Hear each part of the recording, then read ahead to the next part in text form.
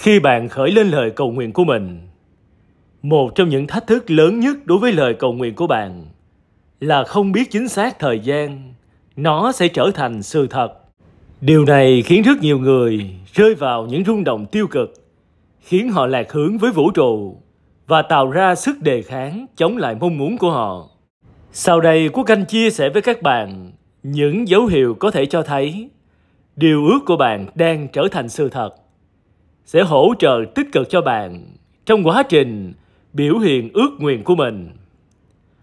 Điều thứ nhất, bạn nhận được một tầm nhìn.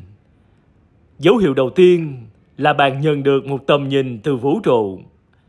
Hình ảnh là cách vũ trụ tiết lộ sự hướng dẫn thiên liêng cho bạn.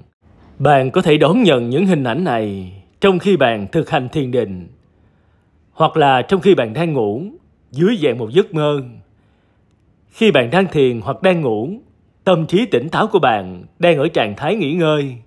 Chính trạng thái không kháng cự này cho phép bạn dễ dàng nhận được sự hướng dẫn thiêng liêng từ cõi tâm linh. Nếu bạn thấy điều ước của mình xuất hiện trong tầm nhìn hoặc giấc mơ, bạn có thể coi đó là dấu hiệu cho thấy rằng bạn đang đi đúng hướng để thể hiện nó trong lĩnh vực vật chất của mình.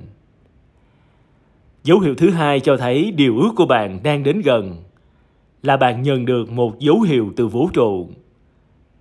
Bạn hãy nói lời cầu nguyện sau đây để nguyện cầu vũ trụ cho một dấu hiệu.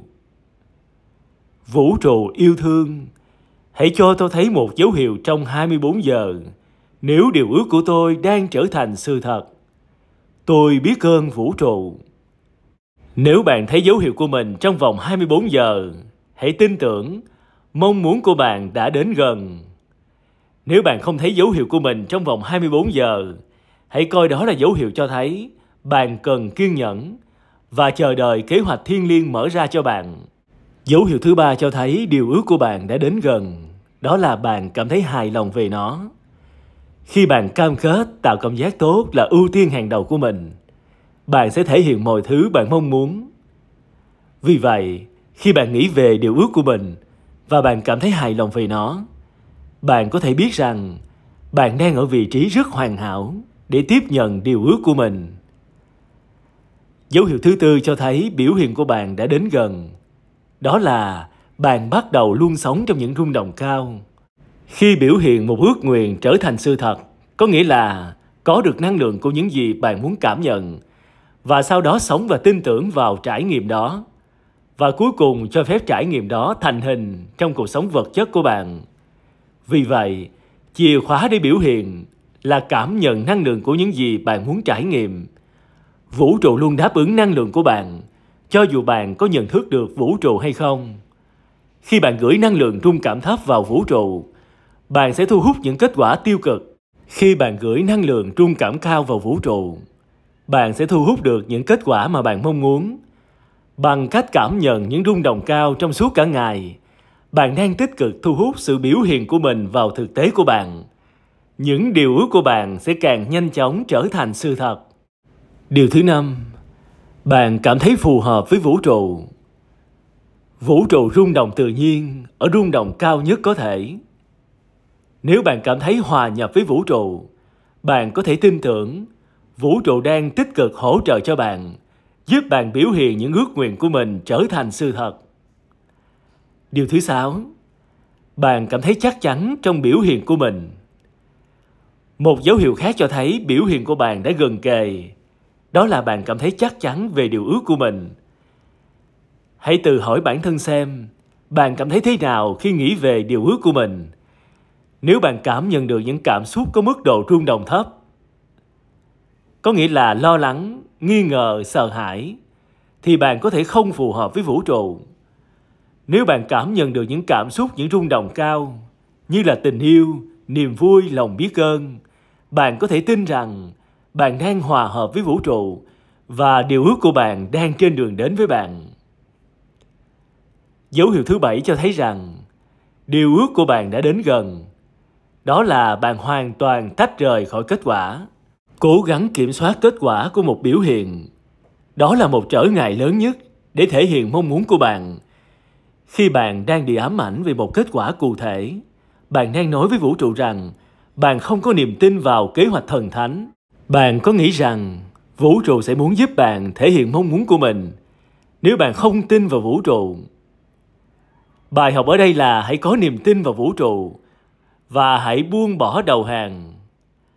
Khi bạn buông bỏ những kỳ vọng của mình, bạn mở lòng ra để cho phép vũ trụ hướng dẫn bạn đến với sự biểu hiện của điều ước của mình. Hãy tin rằng kế hoạch vũ trụ luôn vượt qua kế hoạch của bạn, sẽ luôn dẫn đến những điều tốt đẹp nhất. Nếu bạn thấy mình thiếu kiên nhẫn với biểu hiện của mình, hãy sử dụng lời cầu nguyện đầu hàng sau đây để loại bỏ xu hướng kiểm soát của bạn và cho phép bản thân nhận được sự hướng dẫn từ vũ trụ.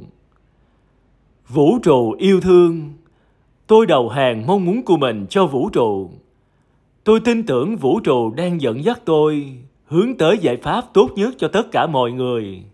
Dấu hiệu thứ 8 cho thấy rằng điều ước của bạn đang đến gần. Đó là hành động của bạn bắt đầu cảm thấy dễ dàng và vui vẻ. Khi hành động của bạn cảm thấy dễ dàng, tự tin và vui vẻ, hoặc bạn không cảm thấy nghi ngờ hay do dự gì, và mọi thứ cứ thấy trôi qua, bạn có thể tin tưởng. Bạn đang ở giai đoạn sẵn sàng đón nhận tất cả sự hỗ trợ từ vũ trụ và điều ước của bạn đang gần kề. Mỗi hành động được truyền cảm hứng mà bạn thực hiện đều đưa bạn đến gần hơn với những gì bạn mong muốn.